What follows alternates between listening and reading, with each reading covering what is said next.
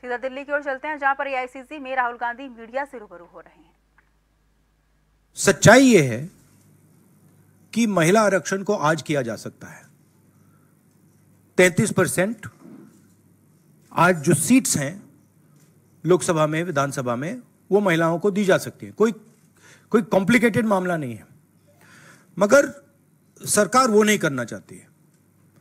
सरकार ने ये देश के सामने रख दिया है मगर रियलिटी ये है कि इंप्लीमेंट आज से दस साल बाद होगा। ये भी नहीं मालूम कि होगा या नहीं होगा। तो एक प्रकार से ये डिस्ट्रैक्शन टैक्टिक है डाइवर्जन टैक्टिक है। डाइवर्जन किस चीज़ से हो रहा है? डाइवर्जन ओबीसी सेंसस से हो रहा है। मैंने पार्लियामेंट में सिर्फ़ एक इंस्टीट्यूशन के बारे में बात की। वो जो हिंदुस्तान की सरकार का सेंटर है कोर है, जो हिंदुस्तान की सरकार को चलाता है। कैबिनेट सेक्रेटरी एंड सेक्रेटरीज और उसमें मैंने एक छोटा सा सवाल पूछा। प्रधानमंत्री कहते हैं कि वो ओबीसी के लिए बहुत काम कर रहे हैं। अगर प्रधानमंत्री इतना काम कर रहे हैं तो नब्बे में से नब्बे लोगों में से सिर्फ़ तीन लोग ओबीसी कम्युनिटी से क्यों हैं? पहला सवाल।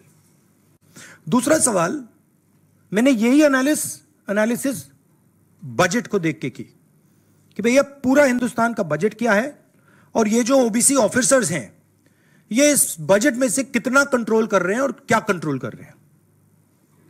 आदिवासी क्या कंट्रोल कर रहे हैं? दलित क्या कंट्रोल कर रहे हैं? ओबीसी हिंदुस्तान के पाँच परसेंट बजट को कंट्रोल कर रहा है ओबीसी ऑफिसर्स तो मुझे बात समझ नहीं आ रही है। प्रधानमंत्री हर रोज ओबीसी की बात करते हैं ओबीसी प्राइड की बात करते हैं। मगर ओबीसी के लिए किया क्या? अब जब मैंने ये बात बोली, उनका रिस्पॉन्स बड़ा इंटरेस्टिंग है। वो कहते हैं कि लोकसभा में हमारा रिप्रेजेंटेशन है। लोकसभा में रिप्रेजेंटेशन का क्या लेना देना है? मैं कह रहा हूँ कि बजट डिसीज़न जो लेते हैं, जो बजट को ऑफिसर्स हैं, जो बजट को कंट्रोल करते हैं फाइव परसेंट ओबीसी निर्णय ले रहे हैं। और मैंने सिर्फ़ यह सवाल पूछा, क्या हिंदुस्तान में ओबीसी की आबादी पाँच परसेंट है? यह मैं जानना चाहता हूँ। अगर पाँच परसेंट है तो फिर वो ठीक है। उसको मैं एक्सेप्ट करने के लिए तैयार हूँ। मगर अगर वो पाँच परसेंट से ज़्यादा है तो मुझे यह पता लगाना है, और एक बार मैं मन बना लेता हूँ, मैं छोड़ता नहीं हूँ, मुझे यह पता लगाना है, ये ओबीसी हिंदुस्तान में कितने हैं। और जितने हैं, उतनी भागीदारी इनको मिलनी चाहिए। अब आप किसी लोकसभा में किसी भी एमपी से पूछ लीजिए। लोकसभा को टेंपल ऑफ़ डेमोक्रेसी कहा जाता है। आप किसी भी बीजेपी के एमपी से पूछ लीजिए कि वो कोई डिसीज़न लेता है, कोई कानून बनाता है, कोई कानून बनाने में भाग लेता है, किसी से भी पूछ लीजिए। बिल्कुल नहीं। ना कांग्रेस का एमपी इस लोकसभा में, ना बीजेपी का एमपी, ना कोई और इंडिया का एमपी, कोई डिसीज़न लेता है।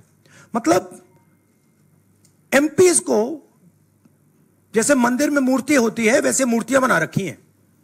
और ओबीसी की वहाँ पे मूर्तियाँ भर रखी हैं। मगर पावर बिल्कुल नहीं है। देश को चलाने में कोई भागीदारी नहीं है। यह सवाल मैंने उठाया है कि क्या और हर हर ओबीसी युवा को यह समझना है कि क्या आपको इस देश को चलाने में भागीदारी मिलनी चाहिए, हाँ या ना? अगर मिलनी चाहिए तो क्या आपकी आबादी पाँच परसेंट है? हाँ या ना? यह सवाल है। और डिस्ट्रैक्शन इस बात से हो रहा है।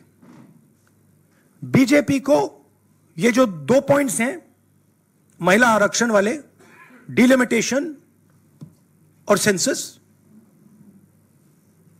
इनको हटा देना चाहिए और एकदम महिलाओं को जो इज़्ज़त मिलनी चाहिए, जो रिस्पेक्ट मिलनी चाहिए, जो भागीदारी होनी चाहिए, उनको एकदम वो कर दें। और कास्ट सेंसस का जो हमने डेटा निकाला था उसको पब्लिक कर दें तो सारे हिंदुस्तान के ओबीसी युवाओं को पता लग जाए वो हैं कितने और नया सेंसस कास्ट बेसिस पे करें। थैंक यू एक एक एक एक करके प्लीज़ और और प्रधानमंत्री को प्रधानमंत्री को अपने अगले भाषण में यह कहना है यह समझाना है देश को कि हिंदुस्तान के सबसे ज़रूरी नब्बे अफसर जो हैं उनमें से सिर्फ़ तीन ओबीसी क्यों हैं? ये मेन सवाल है। और मैंने दलितों और आदिवासियों की बात ही नहीं की अभी। हाँ अंग्रेज़ी में क्या देता हूँ? The BJP came up with the idea of a special session we appreciated that idea with lot of fanfare and